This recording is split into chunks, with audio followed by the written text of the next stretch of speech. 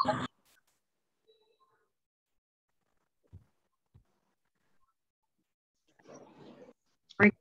ัสดีครับ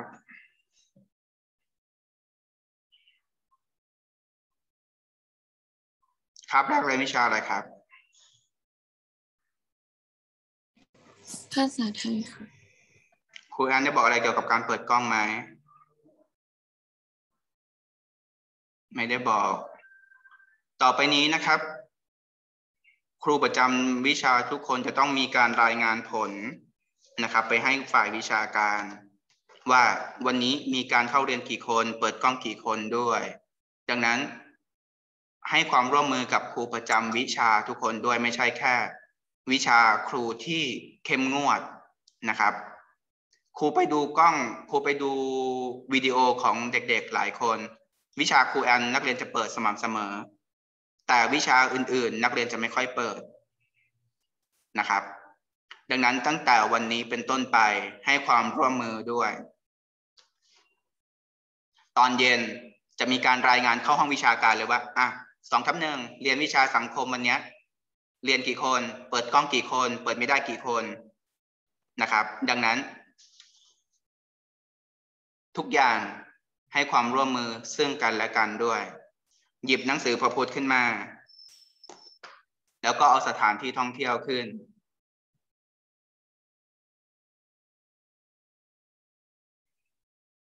โอเค ใครมีปัญหาอะไรก็พิมพ์เข้าไปในแชทแล้วมาเซอร์ก็จะละไว้ในฐานที่เข้าใจ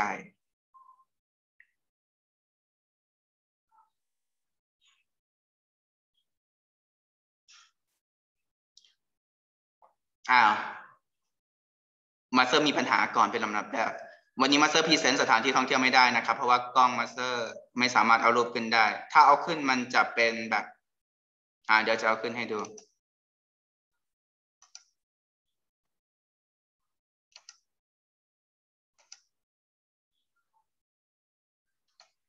อ่าสองทับหนึ่งเราขึ้นได้แล้วนี่อ่าขึ้นได้แล้ว เมื่อกี้เล่นกับสองทับสองขึ้นไม่ได้ อ่าของมาเซิร์ฟไป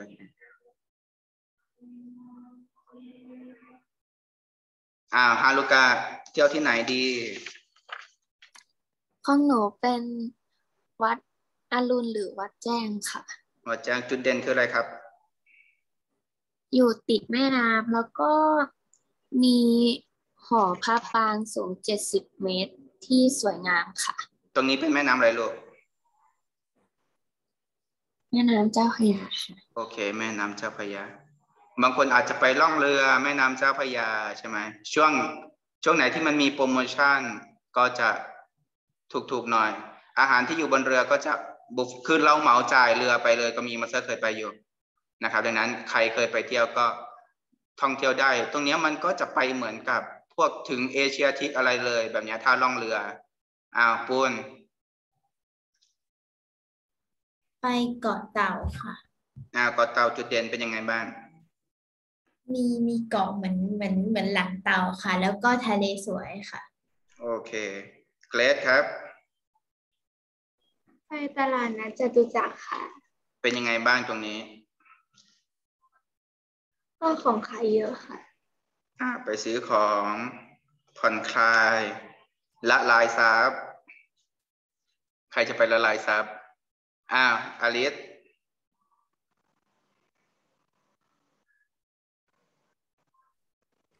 ไปเที่ยวที่บ่อเกลือค่ะ อ่าบอกเกอร์อยู่ที่ไหนครับ จังหวัดน่านค่ะ อ่า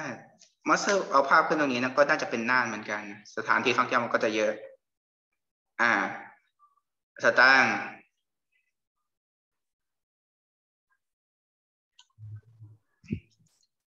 อ่ามาสเตอร์จำได้ตรงนี้ตราดใช่เกาะช้างไหมใช่ครับ พอดีผมยังหารูปไม่ทันครับพี่อาร์ present มาใหม่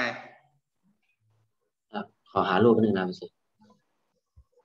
อ่า ใบข้าวสิริเกาะพีพีค่ะ อ่าพีพีเป็นไงบ้าง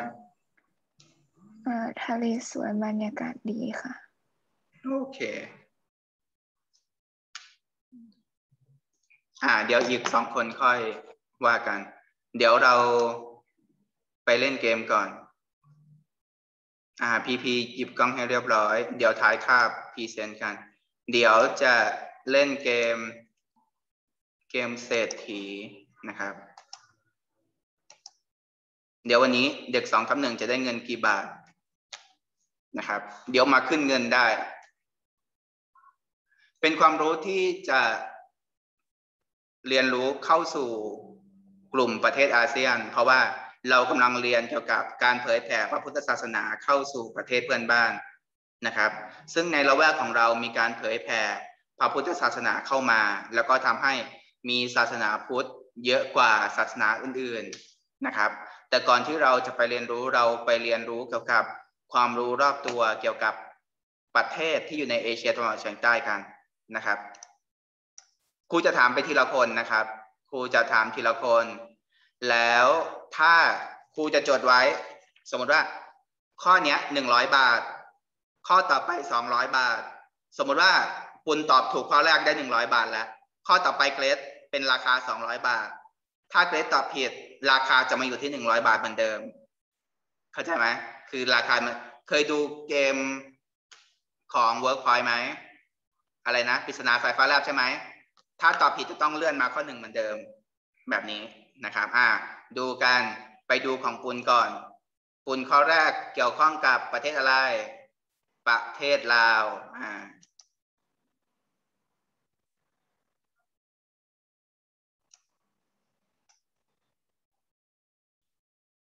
ยินดีต้อนรับเข้าสู่เกมเศรษฐีนะครับ ข้อแรกเกี่ยวกับประเทศเรามีเงินรางวัลด้วยนั้นหนึ่งล้านบาท ข้อนี้ถามว่าจังหวัดใดของไทยไม่ติดกับลาว พิษณุโลก อุตรดิตถ์พะเยา แพร่คำถามนี้เป็นของปูนครับ พิษณุโลกค่ะ โลกอะเราไปอะลืมไปเกิดทันยุคของเกมเศรษฐีไหม ตอนนั้นนะตรอยไตรภพจะเป็นพิธีกรนะครับ ถ้าตอบแล้วทุกคนจะต้องตอบว่า เป็นคำตอบสุดท้ายลงท้าย นะครับ อย่างเช่น ปุณบอกว่า พิษณุโลกต้องตอบว่า พิษณุโลกเป็นคำตอบสุดท้ายค่ะ แบบเนี้ย เข้าใจไหมอะให้โอกาสตอบใหม่หนึ่งสองสามพิษณุโลกเป็นคำตอบสุดท้ายค่ะ อ่า พิษณุโลกเป็นคำตอบที่พีทยังไม่ได้เงินนะ อ่า แพร่นะครับ ไม่ติดกับลาว เอาต่อไป ฮารุกะครับ เงินในสไลด์มาเซอร์มันจะอัพขึ้นเรื่อยๆ นะ แต่ว่าตอนนี้เงินรางวัลยังเป็นศูนย์อยู่นะ อ่า ข้อที่สองร้อยนะครับฮารุกะสิ่งใดมีปรากฏบนธงชาติพม่า สิ่งใดมีปรากฏบนธงชาติพม่า ดาวค่ะดาวใช่ไหมครับ อ่า ดาวดาวเป็เป็นนคำคำตตออบบที่ ดาวเป็นคำตอบอะไรครับ เป็นคำตอบสุดท้ายค่ะอ่า ดาวเป็นคำตอบสุดท้าย อ่า เฉลยนะครับ ถูกต้อง อ่า ตอนนี้ได้หนึ่งร้อยบาท อ่าสองคำหนึ่งได้หนึ่งร้อยบาทแล้วคำต่อไปเกรดครับ ปราสาทหินใดไม่อยู่ในกัมพูชา ปราสาทหินใดไม่อยู่ในกัมพูชา เกรดปราสาทไปนะเป็นคำตอบสุดท้ายค่ะปราสาทอะไรนะครับ ปราสาทบายนเป็นคำตอบสุดท้าย ค่ะพระนมรุง้งพระนมรุ้งจะอยู่ที่บุรีรัมย์ของเรานี่เองนะครับคำตอบนี้ทำให้สองทำหนึ่งได้เงินรางวัล ศูนย์บาทนะครับอ้าวต่อไปอลิศครับ ข้อใดไม่ใช่ศิลปะวัฒนธรรมของเรา ข้อใดไม่ใช่ศิลปะวัฒนธรรมของเราอลิศโขนหรือเปล่าคะอะไรนะครับโขนขนเป็นคำตอบ เป็นคำตอบสุดท้าย ขนเป็นคำตอบสุดท้ายเป็นคำตอบที่ ถูกต้องอ่าหนึ่งร้อยบาทเช่นเดิมนะครับอ่าต่อไป ประเทศเวียดนามมีรูปร่างคล้ายกับตัวอักษรอะไร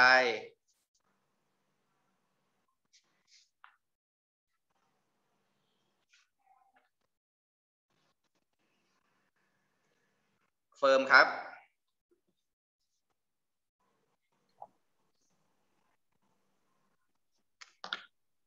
ประเทศเวียดนามมีรูปร่างคล้ายกับตัวอักษรอะไร ตัวอักษร S J L C เฟิร์มตอบว่า S เป็นคำตอบสุดท้ายอ่า S เป็นคำตอบสุดท้าย เป็นคำตอบที่ถูกต้องอ่าตอนนี้สองคำหนึ่งได้สองร้อยบาทนะครับสองร้อยบาท สิริกัลยาครับ ข้อใดไม่ใช่ชื่อเมืองในอดีตของอินโดนีเซีย ข้อใดไม่ใช่ชื่อเมืองในอดีตของอินโดนีเซีย สิริกัลยาครับ สิงหาปุระเป็เป็นนคำตอบสุดท้ายค่ะ เป็นคำตอบสุดท้ายใช่ไหม ถูกต้อง อ่า สิงหาปุระเป็นชื่อเมืองเก่าของสิงคโปร์ ตอนนี้ได้สามร้อยบาท พีพีครับ ข้อใดไม่ใช่เทศกาลสำคัญของฟิลิปปินส์ในเดือนมกราคม ข้อใดไม่ใช่เทศกาลสำคัญของฟิลิปปินส์ในเดือนมกราคม พีพีอยู่ไหม่เอ่ย อยู่ครับ อ่า ข้อนี้ตอบอะไรลูกมาก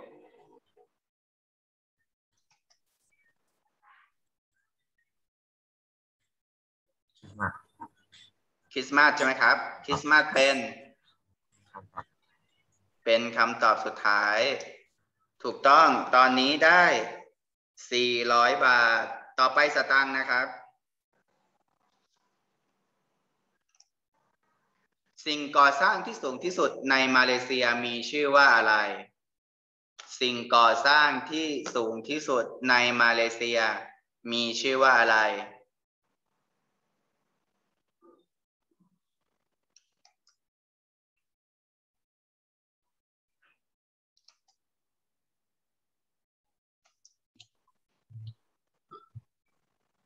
ตึกปิโตนัสเป็นคำตอบสุดท้าย ตึกปิโตนัสเป็นคำตอบสุดท้ายใช่ไหมอ่า ถูกต้องนะครับ เงินรางวัลตอนนี้อยู่ที่เท่าไหร่ห้าร้อยใช่ไหมครับห้าร้อยอ่าจะทะยานถึงกี่บาทอ้าวย้อนกลับไปที่ปุ่นครับบรูไนมีปริมาณน้ำมันน้อยกว่าชาติใดในอาเซียน บรูไนมีปริมาณน้ำมันน้อยกว่าชาติใดในอาเซียน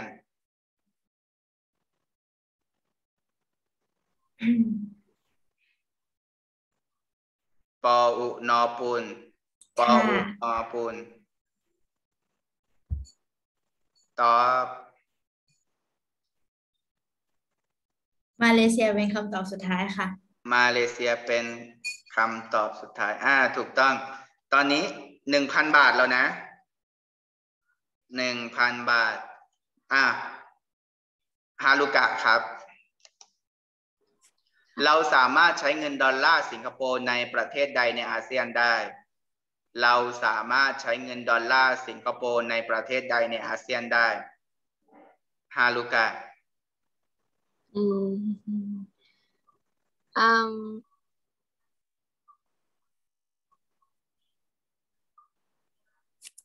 อินโดนีเซียเป็นคำตอบสุดท้ายค่ะเป็นคำตอบสุดท้ายฟึบบูไนบูไนก็ดอลลาร์นะ ดอลลาร์บูไนกับดอลลาร์สิงคโปร์มันจะมีค่าเงินเท่ากัน ตอนนี้ย้อนกลับไปที่ห้าร้อยนะครับ ได้ห้าร้อยบาท อ่า ทีนี้ต่อไป เกรดครับ ชาติใดมีพื้นที่มากกว่าไทย ชาติใดมีพื้นที่มากกว่าไทย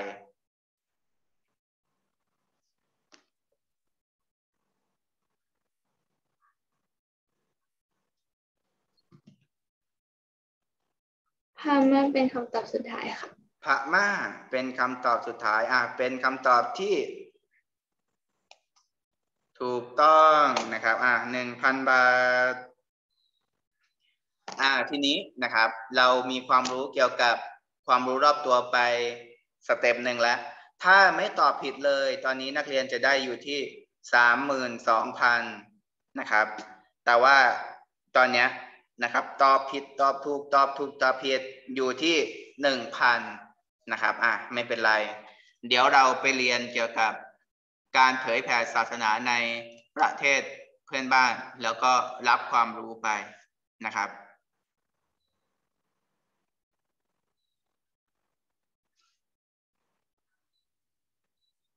ประเทศแรกเป็นประเทศพม่าก่อนนะ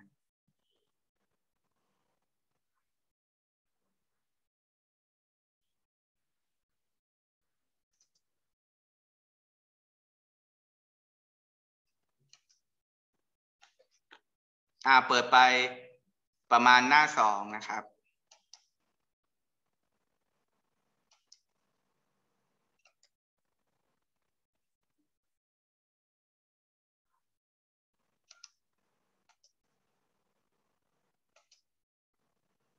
เปิดหน้าสองนะลูก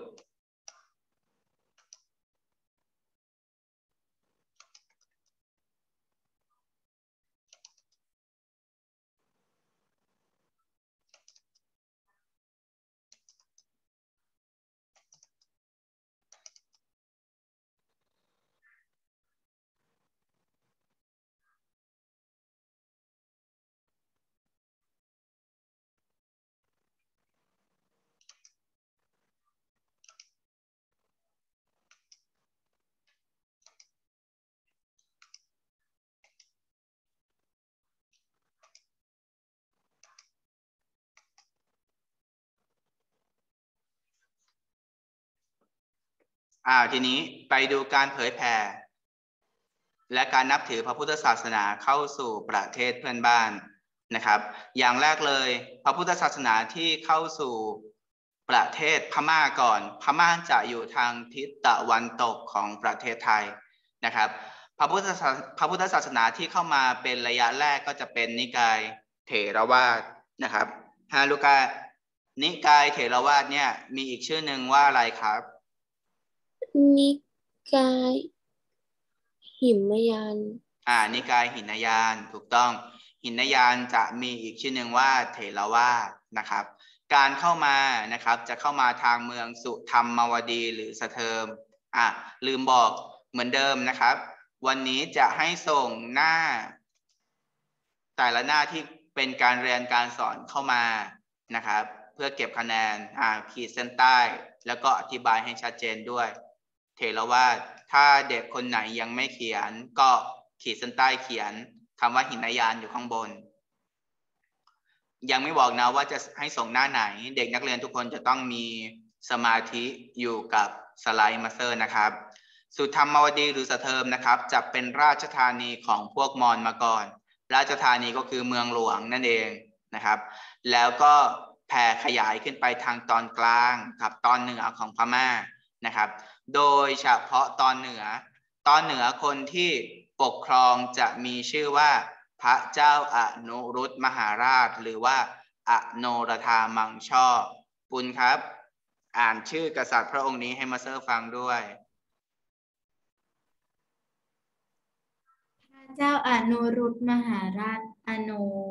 รธามังช่อค่ะอ่าพระเจ้าอนุรุตมหาราช หรืออนุรธามังช่อจะเมืองนี้จะอยู่ที่ ภาคเหนือของพม่านะนะครับ อยู่ทางตอนเหนือ แล้วก็เมืองที่ท่านปกครองก็คือ เมืองพุกามนั่นเองอ่าจดคำว่าพุกามลงไปนะครับ ซึ่งพระเจ้าอโนรธามังช่อเนี่ยก็มีความเริ่มใสนิกายเถรวาทหรือว่าหินยานเป็นอย่างมาก ก็เลยส่งพระราชสารไปถึงพระเจ้ามนูหะนะครับอ่าขีดเส้นใต้นะครับ พระเจ้ามนูหะตอนนั้นครองเมืองสุธรรมวดีอยู่ นะครับ เป็นเมืองมอญนะครับ เป็นเมืองของชนชาติมอญแล้วก็ทูลขอพระไตรปิฎกเกรดพระไตรปิฎกคืออะไรครับ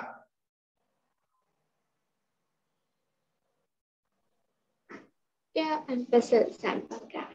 แก้วอันประเสริฐสามประการ อันนั้นพระรัตนตรัย พระไตรปิฎกก็คือคำพีร์ของศาสนาพุทธนะครับคำพีร์ของศาสนาพุทธ แก้วจะต้องมีคำว่ารัตนะ อันนี้ไตรไตรคำนี้แปลว่าสามปิฎกแปลว่าตะก้ากระจาดคำพีนะครับ ปิฎกแปลได้สามอย่างหนึ่งคำว่าตะก้าสองกระจาดสามคำพีร์ไตรแปลว่าสามนักเรียนคุ้นเคยอยู่แล้ว อันนี้ก็จะแปลว่าคำพีสามหมวด สตังเราแปลเป็นตะก้าสามใบได้ไหมครับ ได้ได้อ่าเราจะแปลเป็นตะกร้าสามใบก็ได้ เราจะแปลเป็นกระจาดสามกระจาดก็ได้ เราจะแปลเป็นคำพีสามหมวดก็ได้ เพราะในคำศัพท์ปิฎกจะแปลได้สามอย่างนะครับ ก็คือมีตะกร้า มีกระจาด มีคำพีนะครับ แต่เหมือนกับภาษาอังกฤษ เวลาเราหยิบมาใช้ เราต้องหยิบมาใช้ให้ถูกต้องว่ามันอยู่ในบริบทไหนนะครับ เรากำลังเรียนศาสนาพุทธ เราเอาคำว่า แตะกร้าสามใบมาพิมพ์ในนี้ได้ไหม ก็ไม่ได้ เราต้องเอาคำว่าคำพีสามหมวดมานะครับอ่าในช่วงนั้น พระเจ้าอโนรธามังช่อนะครับ ก็ได้ทูลขอพระไตรปิฎกขึ้นไปยังเมืองภูกาม แต่เกิดเหตุก่อน พระเจ้ามนูหะก็ไม่ยอมนะครับ เพราะว่าของอยู่กับตัวเองแล้วไง ไม่อยากให้นะครับ จึงเกิดการสู้รบกันนะครับ พระเจ้าอนุรุตมหาราชเป็นฝ่ายชนะขึ้นมา จึงสั่งให้มีการทำลายเมืองสุธรรมวดีเลยนะครับ พร้อมกับนำพระสงฆ์มอญแล้วก็พระไตรปิฎกเนี่ยขึ้นไปยังเมืองภูกามซึ่งอยู่ทางตอนเหนือของพม่านะครับ แล้วเหตุการณ์ในตอนนั้น พระพุทธศาสนานิกายเถรวาทก็ได้แผ่ขยายไปทั่วอาณาจักรพม่าเลยนะครับอ่านี่คือเหตุการณ์แรกๆที่ทำให้รู้ว่า พระพุทธศาสนานิกายเถรวาทเนี่ยเข้าไปใน เมียนมาได้ยังไงนะครับอ่าไปดูยุคที่สองนะครับ พุทธศักราชที่ 1733 นะครับ อยู่ในช่วงรัชกาลของพระเจ้านรปฏิสิทธุนะครับ สิริกัลยาอ่านชื่อกษัตริย์พระองค์นี้ให้มาเซอร์ฟังหน่อย อ่าอ่านครับ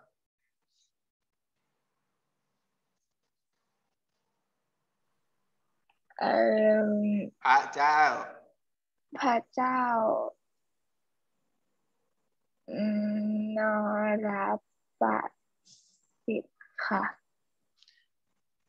อ่านว่า พระเจ้านรปฏิสิทธุเอาอ่านตาม พระเจ้านรปฏิสิทธุค่ะ โอเค พระเจ้านรปฏิสิทธุนะครับ ก็ทราบว่าลังกามีการทำสังคยนาครั้งที่หกนะครับ พอรู้ว่ามีการสังคยนา ก็อาราธนา อาราธนาแปลว่าอะไรครับ พีพีอาราธนาว่าอะไรครับ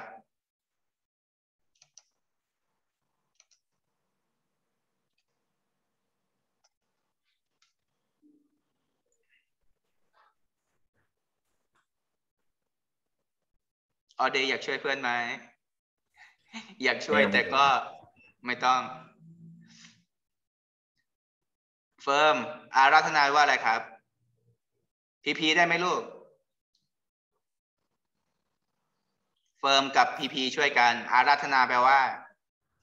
เชิญครับเชิญครับเชื้อเชิญ อ่า เก่งมาก ทุกคนเขียนลงไป อาราธนาแปลว่าเชื้อเชิญ ก็ทราบว่ามีการสังคายนาครั้งที่6ที่ลังกา ใช่ไหมก็มีการเชิญพูดภาษาคำแปลแล้วนะ เชิญพระอุตราชีวะ แล้วก็นำคณะภิกษุเนี่ยเดินทางไปสืบพระพุทธศาสนาที่ลังกาสืบพระพุทธสืบพระพุทธศาสนาก็คือเหมือนกับไปเรียนรู้นะครับ แล้วก็คณะสมณทูตก็ได้นำนิกายเถรวาทจากลังกาเนี่ยมาเผยแพร่ในประเทศพม่านั่นเองนะครับอลิฟ ปัจจุบันการสังคายนามีทั้งหมดกี่ครั้งครับ ปัจจุบันการสังคายนามีทั้งหมดกี่ครั้ง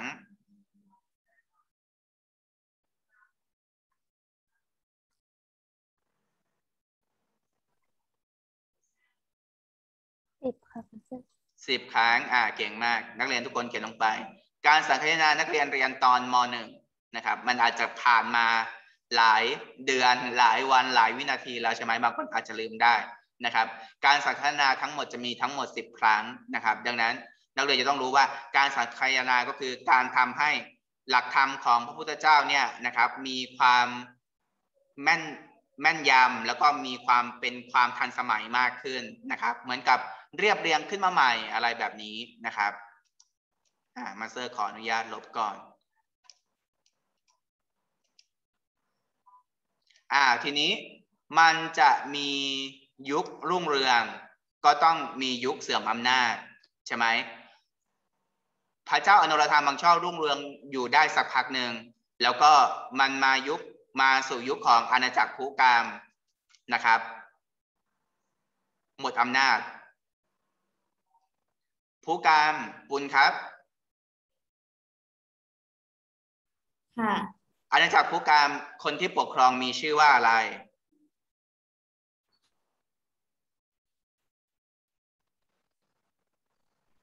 พระเจ้าอนุรุตค่ะ อ่า พระเจ้าอนุรุตมหาราช หรือว่าอนุรธรรมบางช่อเหมือนกับที่มาสเตอร์บอก มันมียุครุ่งเรืองก็ต้องมียุคเสื่อมอำนาจ เมื่ออาณาจักรภูกามได้สิ้นอำนาจลง เพราะว่ากลุ่มมองโกลุกลานนะครับกลุ่มนี้ลุกลาน อาณาจักรต่างๆนะครับ ก็แยกตัวเป็นอิสระนะครับ รวมทั้งมอญด้วย เพราะว่าแต่ก่อนไปตีเมืองพระเจ้ามนูหะ ซึ่งเป็นเมืองสุธรรมวดีใช่ไหมซึ่งเป็นเมืองมอญนะครับ พออาณาจักรต่างๆ แยกตัวเป็นอิสระก็มาสู่ยุคของพระเจ้า พระเจ้าธรรมเจดีปิดกทรนะครับ พระเจ้าธรรมเจดีปิดกทรสตางอ่านคำนี้ครับ อ่านกษัตริย์องค์ที่สามที่เรารู้จัก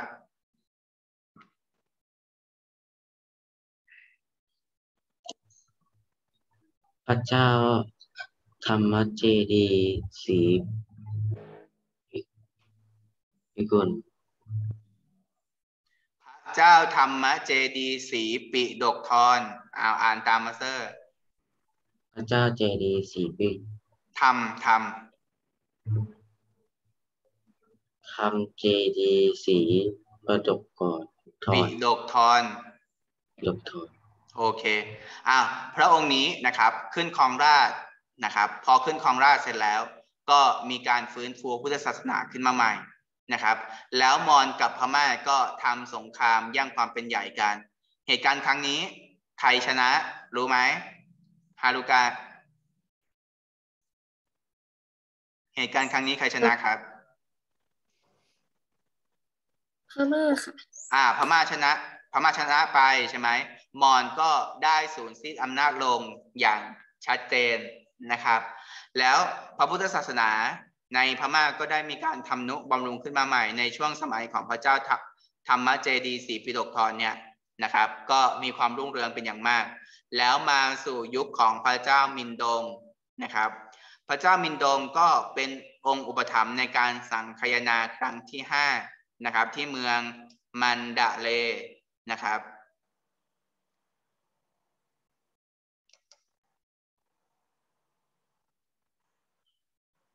สิริกัลยาครับ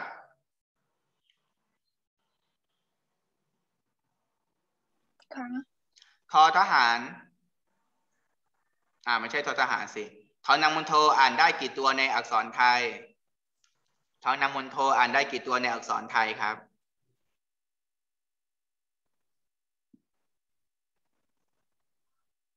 ช้อยหนึ่งสองสามสี่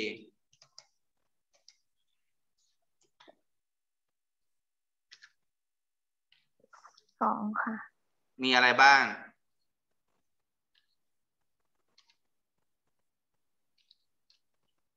ทอดอเด็กกับทอทหารค่ะ ดอเด็กกับทอทหาร อ่า เก่งมาก มาสเตอร์กำลังจะหาคำให้ดู อ้าว อย่างเช่น อันนี้ก็อ่านว่า มันดะเลใช่ไหมซึ่งเป็นดอเด็กนะครับ จากนั้นก็ให้มีการจารึกพระไตรปิฎกลงแผ่นหินอ่อนนะครับ แล้วก็ทำสถูปไว้สการะบูชาทั้งสิ้น 450 องค์นะครับ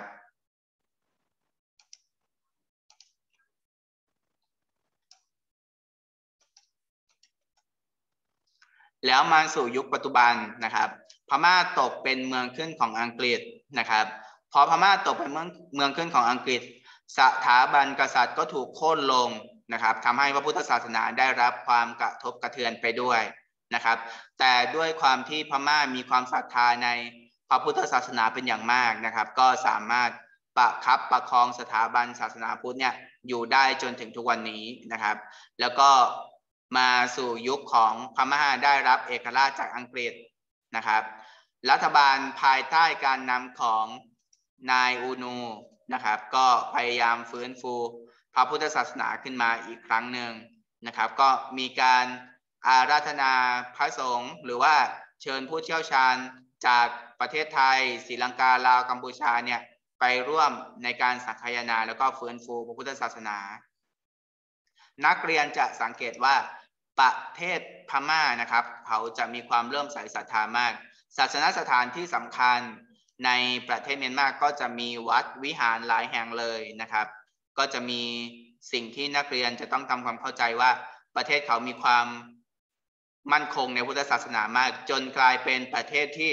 มีภิกษุกับภิกษุณีมากที่สุดในโลกเลยนะ มีภิกษุกับภิกษุณีมากที่สุดในโลกด้วยนะครับอ่าเขียนลงไปด้วย ศาสนสถานที่สำคัญก็จะเป็นเจดีย์ชเวดากองใช่ไหม อ่าไปดูประเทศอินโดนีเซียนะครับฮาลูกาประเทศอินโดนีเซียเนี่ยปัจจุบันนับถือศาสนาอะไรเป็นศาสนาประจำชาติครับศาสนาอิสลามค่ะ อ่า อิสลาม แต่มีประเทศอินโดนีเซียมาเรียนด้วยก็แปลว่า ครั้งหนึ่งเขาก็เคยนับถือศาสนาพุทธอ่ามาดูว่าประวัติความเป็นมาเป็นยังไงนะครับ พระพุทธศาสนานะครับ ได้เข้ามาสู่ดินแดนอินโดนีเซียเนี่ยคราวเดียวกันกับพระเจ้าอโศกมหาราชนะครับ พระเจ้าอโศกมหาราชมีความเกี่ยวข้องกับการสังคายนาครั้งที่เท่าไหร่ปุณครับ ครั้งที่สามค่ะอ่าครั้งที่สามตอนนั้นพระเจ้าอโศกมหาราชเขียนลงไปด้วยนะคำว่าพุทธศตวรรษ คนละอย่างกับการสังคายนาครั้งที่สามนะ ไม่ใช่ปุณเห็นคำนี้ก็ตอบได้ไม่ใช่นะนะครับ ก็คือในช่วงที่พระเจ้าอโศกมหาราชนะครับส่งพระโสนเถระกับพระอุตรเถระเข้ามาเนี่ยอยู่ในช่วงการสังคายนาครั้งที่สามท่านทั้งสองเนี่ยมาเผยแผ่ศาสนาในดินแดนสุวรรณภูมิ ดินแดนสุวรรณภูมิก็คือเขตเอเชียตะวันออกเฉียงใต้ของเรานี่แหละนะครับ แล้วก็มาเผยแผ่แล้วก็มีหลักฐานชัดเจนนะครับ ในช่วงหนึ่งอาณาจักรที่ยิ่งใหญ่จะมีชื่อว่าอาณาจักรศรีวิชัยนะครับ อาณาจักรศรีวิชัยเนี่ยจะครอบคลุมตั้งแต่ภาคใต้ของประเทศไทย ประเทศมาเลเซีย แล้วก็อินโดนีเซียทั้งหมดนะครับ อ่า มันก็จะมีประเทศสิงคโปร์มาเกี่ยวข้องด้วย เพราะว่าอะไร ประเทศสิงคโปร์ย่อออกมาจากประเทศอินโดนีเซียนะครับ อ่า มันก็จะเป็นภาคใต้ของประเทศไทย ประเทศมาเลเซีย ประเทศสิงคโปร์ประเทศอินโดนีเซีย ให้นักเรียนจำว่าอาณาจักรศรีวิชัยเนี่ยเป็นอาณาจักรที่รุ่งเรืองทางด้านการค้าเป็นอย่างมากนะครับ แต่ว่าเราค้นพบหลักฐานในประเทศอินโดนีเซียไม่มีหลักฐานเกี่ยวกับหินยานเลยนะครับอาณาจักรศรีวิชัยเนี่ยจะนับถือศาสนาพุทธ นิกายมหายานนะครับนิกายมหายาน เพราะว่าเขาเจอหลักฐานหลายอย่างอย่างเช่น พระพิมพ์ดินดิบอ่าขีดเส้นใต้หลักฐานไว้ด้วยทำให้เรารู้ว่าสิ่งเหล่านี้เขาเคยนับถือศาสนาพุทธ นิกายมหายานอยู่ มีพระพิมพ์ดินดิบมีรูปพระโพธิสัตว์นะครับ แบบนี้เป็นต้น ถ้านักเรียนคิดภาพไม่ออกก็จะเป็นเกี่ยวกับเรื่องของเจ้าแม่กวนอิมอะไรแบบนี้นะครับ อ่าทีนี้ในราวกลางพุทธศตวรรษที่ 13 บนเกาะชวานะครับ เมืองหลวงของอินโดนีเซียเนี่ยจะอยู่ที่เกาะชวานะครับ ก็เกิดราชวงศ์ที่เข้มแข็งราชวงศ์หนึ่งมีชื่อว่า ราชวงศ์ไสเลน อ่าขีดเส้นใต้ราชวงศ์ไสเลน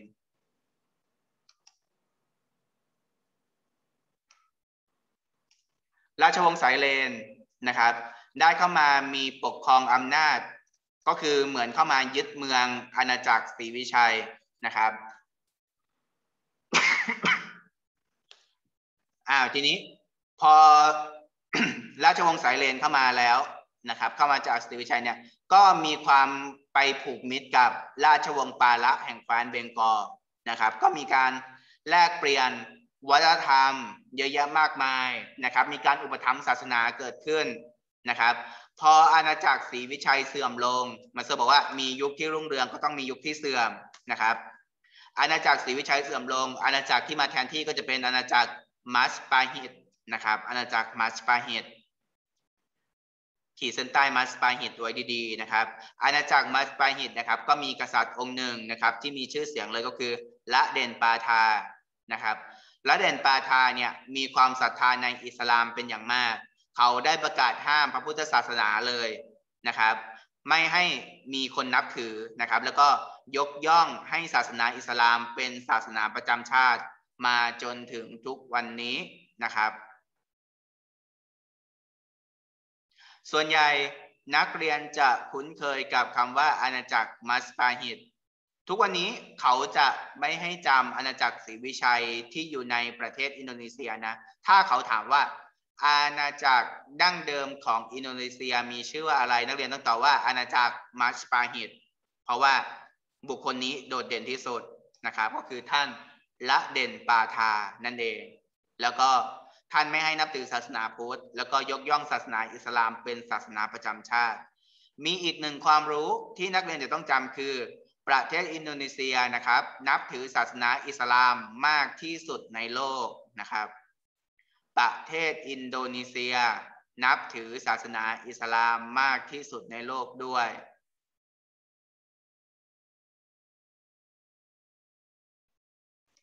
อ่า นี่คือเรื่องราวการเผยแผ่ศาสนาพุทธสองประเทศนะครับ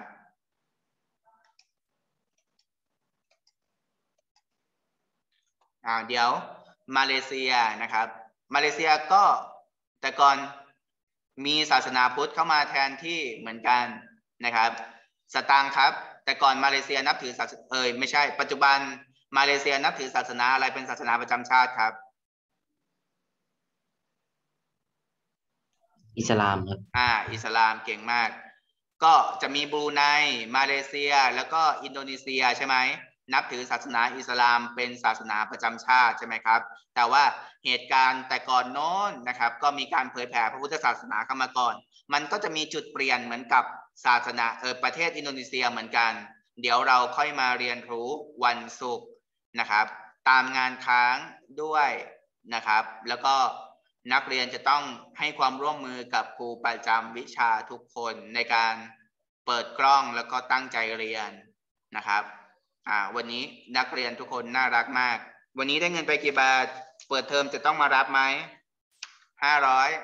เปิดเทอมมารับ จะพากันไปกิน KFC นะครับ หรือว่าเอาเงินไปแบ่งกันซื้อการ์ดเกมใหม่ เรียนออนไลน์จนกล้องพัง เอาเงินไปแบ่งกันซื้อกล้องใหม่แบบเนี้ยซื้อโน้ตบุ๊กใหม่ห้าร้อยพอไหมโน้ตโน้ตบุ๊กอ่าทีนี้นะครับ พนมมือขึ้นมาทุกคนสำหรับวันนี้นะครับ สวัสดีครับ